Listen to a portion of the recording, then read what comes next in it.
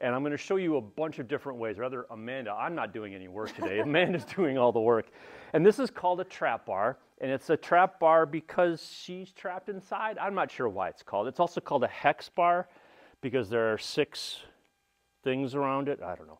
Basically, the idea is that she's going to be coming down, pushing your hips back, having your knees roughly over her shoelaces, coming down and standing up and picking it up. Couple things to think about which Amanda always forgets. Inhale on the way down, squeeze as you're on the bottom, and then exhale on the way up. That's number one. And when you get to the top, squeeze your butt cheeks. I know. And the key to doing that, the reason you do that is A, to remind your butt cheeks that they're the muscles that are in charge.